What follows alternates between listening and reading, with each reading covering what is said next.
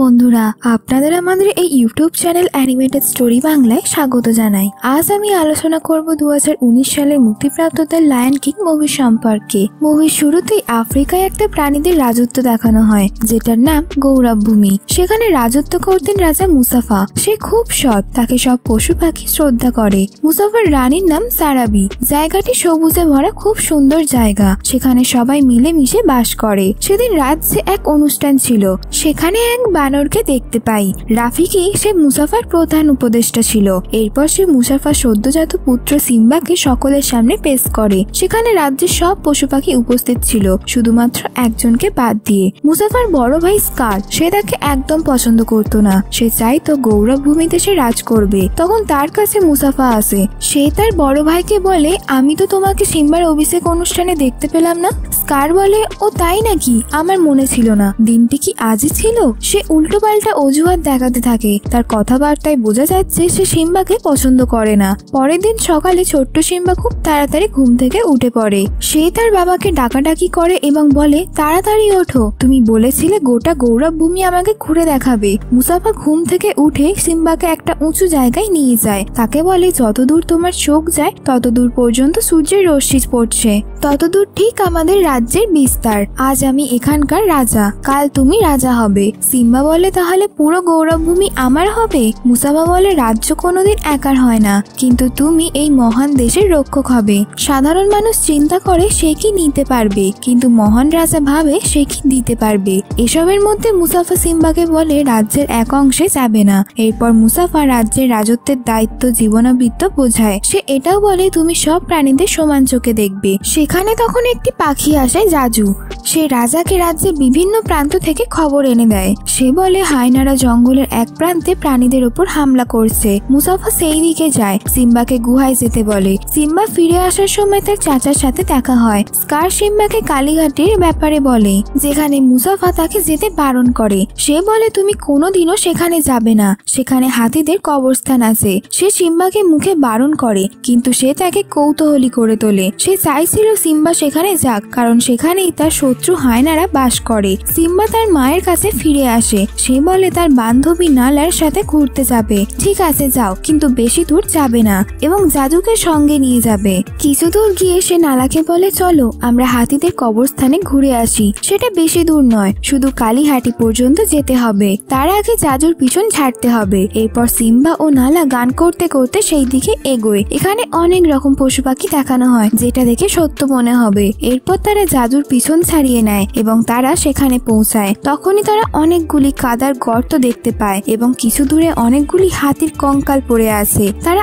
আরও একটু এগিয়ে যায়। এবার তারা বুঝতে পারে তারা ছাড়া অন্য কেউ এখানে আছে। তখনই তারা দেখে অনেকগুলি হায়না আছে। হায়নাগুলি তাদের চারিদিক থেকে ঘিরে নেয়। এরপর হায়নাগুলি বলতে শুরু করে, আমরা কত ভাগ্যবান, আজকে আমরা রাজকুমারের মাংস খেতে পারব। তারা এবার সিম্বাদের দিকে এগিয়ে আসে। তখন সেখানে জাজু আসে। সে তাদেরকে বলে, তোমরা রাজকুমারকে খেতে পারো না, নইলে মুসাফা তোমাদেরকে মেরে ফেলবে। কিন্তু তারা জাজুর কথা শোনে না এবং তাদের দিকে এগিয়ে আসে। সিম্বা এবং নালা খুব ভয় পেয়ে যায়। সেখান থেকে গর্তের মধ্যে ঢুকে যায়। তারা তারপর গর্তের মধ্যে ছোটাছুটি করতে থাকে এবং হায়নারাও তাদের ধরতে চেষ্টা করে। এরপর তারা সিম্বা ও নালার ওপর আক্রমণ করতে যাবে, তখনই সেখানে মুসাফা চলে আসে। মুসাফা হায়নাদের লিডার সেনজিকে বলে, তুমি যদি দ্বিতীয়বার আমার ছেলেকে মারার চেষ্টা করো, তাহলে আমি সবাইকে মেরে ফেলব। সেনজি মুসাফার কাছে ক্ষমা চায়, এই ভুল আর হবে না। এরপর মুসাফা সিম্বা, নালা সেখান থেকে চলে আসে। সিম্বা সেখানে নিজেকে প্রমাণ করার জন্য যায়। সে দেখতে চাইছিল সে কতটা বাহাদুর। সে এরপর বুঝতে পারে নিজেকে প্রমাণ করার জন্য সে অনেকটাই ছোট। এরপর গুহায় ফিরে আসার সময় মুসাফা নালাকে তার মায়ের কাছে পাঠিয়ে দেয় এবং কিছু কথা বলার জন্য সিম্বাকে তার কাছে রেখে দেয়। মুসাফা সিম্বার ওপর রেগেছিল কিন্তু পরে ক্ষমা করে দেয়। সে তাকে বলে, আকাশের তারাগুলিকে দেখো। সেগুলিও এক মহান রাজা, যারা ওপর থেকে আমাদের দেখছে। তুমি যদি কোনোদিন একা মনে করো, তাহলে আকাশের দিকে দেখবে। আমিও একদিন আকাশ থেকে তোমাকে দেখব। এরপর হায়নাগুলির কাছে স্কার আসে। সে বলে আমি তোমাদের জন্য দুটো শিকারীকে পাঠিয়েছিলাম। তোমরা সেই বাচ্চাগুলিকেও মারতে পারলে না। কিন্তু তোমরা যদি চাও, তাহলে পুরো গৌরব ভূমিতে আমি তোমাদের ঢুকতে দিতে পারি। তখন তাদের দলনেতা বলে গৌরব ভূমি তো তোমার নয়। মুসাফা কোনোদিন আমাদের সেখানে ঢুকতে দেবে না। তখন স্কার বলে, তাহলে মুসাফাকে মেরে ফেলা যাক। তার জন্যই আমরা আমরা পশু শিকার করতে পারি না। মুসাফা মরে গেলে আমি রাজা হব। তখন আমি তোমাদেরকে ঢুকতে দেব। আর তোমাদের ইচ্ছা মতো তোমরা শিকার করতে পারবে। এরপর তারা তাকে মারার জন্য প্ল্যান বানায়। পরের দিন স্কার সিম্বাকে একটা সংকীর্ণ ঘাটে নিয়ে যায়। সে বলে, তুমি এখানে দাঁড়াও, আমি একটু আসছি। স্কার চলে যায় এবং সিম্বা দেখে অনেকগুলি প্রাণী তার দিকে এগিয়ে আসছে। তখনই সিম্বা ছুটতে থাকে এবং শুকনো ডালের মধ্যে উঠে পড়ে। এদিকে স্কার মুসাফাকে গিয়ে বলে, সিম্বা বিপদে আছে। এরপর তারা ঘাটের দিকে এগিয়ে আসে। তাদের সঙ্গে জাজুও আসে। মুসাফা সিম্বাকে বাঁচানোর জন্য নিচে নেমে পড়ে এবং স্কার জাজুকে বলে, তুমি সৈন্য নিয়ে আসো, আমি মুসাফাকে সাহায্য করছি। এদিকে মুসাফা সিম্বাকে বাঁচিয়ে নেয়। তারপরে সেই জন্তুদের পদতলে চলে যায়, কিন্তু কিছুক্ষণ পরে সে ওপরে উঠে আসে। পাথরে ঘাটের কিনারায় ঝুলতে থাকে। তখন সেখানে স্কার আসে। মুসাফা বলে, আমাকে বাঁচাও। স্কার সাহায্যের বদলে তাকে নিজে ঠেলে ফেলে দেয়। এরপর মুসাফা বিশাল জন্তুদের পায়ে চাপে মারা যায়। এরপর সিম্বা তার বাবার মৃতদেহের কাছে গিয়ে তাকে ঠেলতে থাকে। সে তাকে উঠতে বলে। তার বাবা না ওঠায় সে পাশে শুয়ে পড়ে। সেখানে তখন স্কার আসে। সে সিম্বাকে বলে, তোমার বাবা তোমার জন্য মারা গেছে, কারণ সে তোমাকে বাঁচাতে এসেছিল। এবার তুমি কোন লজ্জায় গৌরব ভূমিতে ফিরে যাবে? তখন সে বলে, তাহলে আমি এখন কি করব? সে বলে, এখান থেকে চলে যাও। আর কোনোদিন এখানে ফিরে আসবে না। এরপরে সিম্বা সেই এলাকা ছেড়ে চলে যায়। সিম্বা হাঁটতে শুরু করে। স্কার হায়নাদের বলে, মেরে ফেলো ওকে। সিম্বা দৌড়াতে গিয়ে উঁচু জায়গা থেকে পড়ে যায়। হায়নারা ভেবে নেয়, সিম্বা মারা গেছে, কিন্তু সে বেঁচে যায়। অন্যদিকে স্কার সিম্বার মাকে ও অন্যান্য সিংহীদের বলে, মুসাফা ও সিম্বা মারা গেছে, তাই আমি রাজ্যবার নিজের হাতে তুলে নিলাম। আজ থেকে আমি তোমাদের রাজা, আর আমাকে সাহায্য করবে হায়নারা। রানী এবং অন্যান্যদের কিছুই করার ছিল না। তাই তারা এটা মেনে নেয়। অন্যদিকে সিম্বা মরুভূমির উপর হাঁটতে হাঁটতে এক জায়গায় শুয়ে পড়ে এবং ঘুমিয়ে পড়ে। কিছুক্ষণ পরে সেখানে শকুন চলে আসে। তারা সিম্বাকে মরা ভেবে খেতে যাবে, তখনই সেখানে পুম্বা এবং টিমন আসে। তারা শকুনদের তাড়িয়ে সিম্বাকে বাঁচিয়ে নেয়। পুম্বা ছিল একটি শুকুর, আর টিমন হলো নকুল, যেটা দক্ষিণ আফ্রিকায় দেখতে পাওয়া যায়। প্রথমে তারা ভয় পায়, কেননা সে একটা সিংহ ছিল। তারপরে ভাবে যদি তারা সিম্বাকে বড় করে, যখন সিম্বা বড় সিংহ হবে, তখন তাদের সাথে একটা সিংহকে দেখে যে কোনো প্রাণী ভয় পাবে। এই জন্য তারা সিম্বাকে লালন পালন করবে। পুম্বা ও টিমন খুবই ফ্রি মাইন্ডেড ছিল। তারা সিম্বার মুড ঠিক করার জন্য গান করে। হাকুনা মাটাটা থার। অর্থাৎ কোনো উদ্বেগ নেই। কোনো চিন্তাও নেই। এরপর তারা তাকে নিজেদের জায়গায় নিয়ে আসে। তারা যেখানে থাকতো সেই জঙ্গলটি খুবই সুন্দর ছিল। সেখানে কেউ কাউকে শিকার করতো না। খিদে পেলে পোকামাকড় খেত। তারা এবার সিম্বাকে বলে, তুমি যদি এখানে থাকতে চাও, কোনো পশুকে শিকার করা যাবে না। শুধু পোকামাকড় খাওয়ার অভ্যাস করতে হবে। সিম্বার কাছে কোনো উপায় ছিল না। তাই সেও তাদের মতো পোকামাকড় খাওয়া শুরু করে। পরের দৃশ্যে দেখি সিম্বা বড় হয়ে গেছে। এরপর আমরা নালাকে দেখি। এখন সে বড় হয়ে গেছে। সে অন্যান্য সিঙ্গিদের সাথে আছে। তখনই সেখানে স্কার আসে। নালা তাদের রানীকে বলে, আমরা সেখানে চুপচাপ করে বসে থাকতে পারি না। আমাদের কিছু করা উচিত। রানী বলে, এখন এখানকার রাজা হলো স্কার। নালা বলে, আমাদের শীঘ্রই এখান থেকে পালিয়ে যাওয়া উচিত। তাহলে আমাদের বিপদ হতে পারে। রানী বলে, আমরা এখান থেকে কোথাও যেতে পারব না। এটা আমাদের ঘর। আমাদের শুধু অপেক্ষা করতে হবে সময় খুব শক্তিশালী, যে সঠিক সময় জবাব দেবে। তখনই স্কার রানীকে ডেকে বলে, তুমি আমাকে বিয়ে করে নাও, কারণ আমাকে হারানোর মতো আর কেউই নেই। কিন্তু বাকি সিংহীরা তোমার কথাই শোনে আর তোমাকেই মান্য করে। যতদিন তুমি আমার হবে না, তারা কেউই আমার কথা শুনবে না আর কেউই সম্মান করবে না। কিন্তু রানী কিছুতেই রাজি হয় না। তখন স্কার বলে, ঠিক আছে, এতদিন শিকার করে আনা পশু আমার পরে তোমরা খেতে। কিন্তু এখন থেকে আমার পরে হায়নারা খাবে।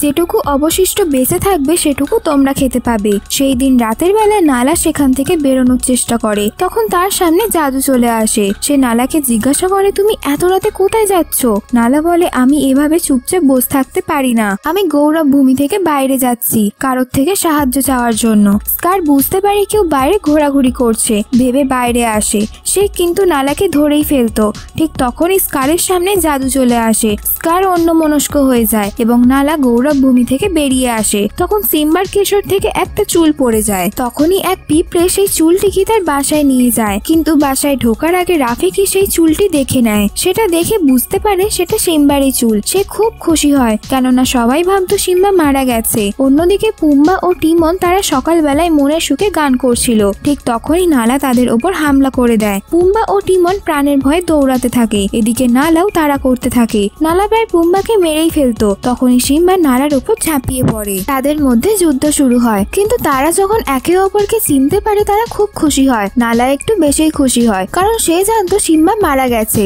নালা তখন বলে, তোমাকে এক্ষুনি ঘরে ফিরে যেতে হবে। স্কার হায়নাদের সাথে মিলে পুরো গৌরব ভূমিকে দখল করে নিয়েছে। কিন্তু সিম্বা বলে, এটি তার ঘর। এই জায়গাটি খুবই সুন্দর। তখন সিম্বা নালাকে পুরো জঙ্গলটি ঘুরে দেখায়। এইভাবে তারা একে অপরের প্রতি প্রেমে পড়ে যায়। এরপর নালা আবারও তাকে ফিরে যেতে বলে। সে তাকে আবারও বলে, স্কার ও হায়নারা মিলে পুরো গৌরব ভূমিকে ধ্বংস করে দিয়েছে। এখন সেখানে খাদ্য ও জল কিছুই নেই। কিন্তু সে তাও রাজি হয় না। কারণ সে তার বাবার মৃত্যুর জন্য এখনও নিজেকেই দায়ী করে। নালা নিরাশ হয়ে সেখান থেকে চলে যায়। সেদিন রাতে রাফিকি সিম্বার সাথে দেখা করতে আসে, কিন্তু সিম্বা রাফিকিকে চিনতে পারে না। সে তাকে বলে, আমি তোমাকে কোলে করে বড় করেছি এবং তোমার বাবা এখনও বেঁচে আছে। তুমি কি তাকে দেখবে? সে অবাক হয়ে যায় এবং বলে, আমার বাবা তো অনেক আগেই মারা গেছে। রাফিকি তাকে নদীর ধারে নিয়ে যায়। সে সিম্বাকে তারই প্রতিচ্ছবি দেখিয়ে বলে, তোমার বাবার আত্মা তোমার মধ্যে বেঁচে আছে। সিম্বা তখন আকাশের দিকে দেখে, তার বাবাকে অনুভব করে। সে যেন তাকে বলে, তোমাকে গৌরব ভূমিতে ফিরে যাওয়া উচিত। তাকে রাজা হিসেবে তার জায়গাটা নিতে হবে। কিন্তু সিম্বা বলে, আমি তো একা, আমি কি করে পারব? তখন তার বাবা তাকে বলে, আমি তোমার সাথে আছি এবং একসাথেই থাকব। এরপর সিম্বা মনের মধ্যে জোর পায় এবং নিজেকে চিনতে পারে। তখন সে গৌরব ভূমির উদ্দেশ্যে বেরিয়ে পড়ে। সে রাস্তার মধ্যে নালাকে দেখতে পায়। তারপর তারা গৌরব ভূমির দিকে ছুটতে থাকে। সে সেখানে গিয়ে দেখে পশুর কঙ্কাল পড়ে আছে এবং পুরো জায়গাটা শুকিয়ে কাঠ হয়ে গেছে। তখন সেখানে জাজু আসে এবং তাকে দেখে খুব খুশি হয়। অন্যদিকে এরপর স্কার আবারও সিম্বার মাকে বিয়ের জন্য জোর করে। সে বলেছিল, আমাকে বিয়ে করে নাও, কারণ আমার থেকে শক্তিশালী কেউ নেই। কিন্তু রানী বলে, তুমি মুসাফার নামের যোগ্যও নও। এটা শুনে স্কার রেগে যায় এবং লড়াই শুরু করে তার সাথে।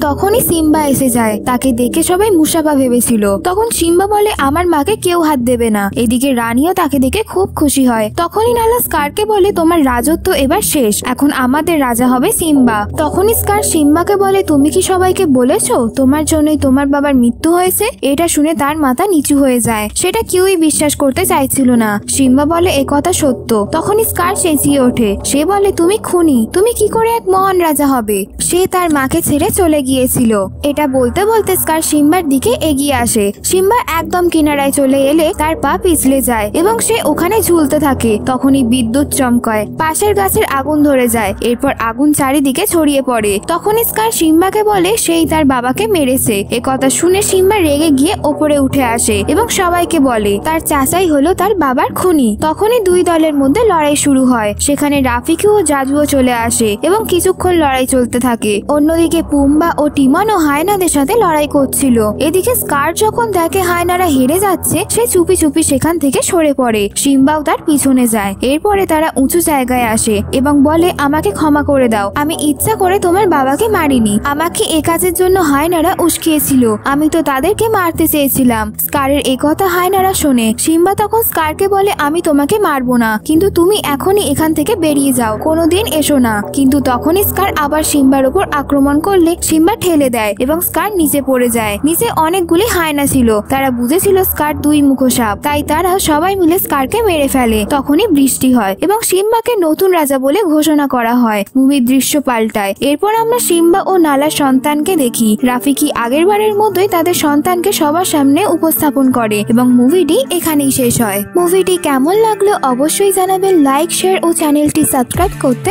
একদম ভুলবেন না।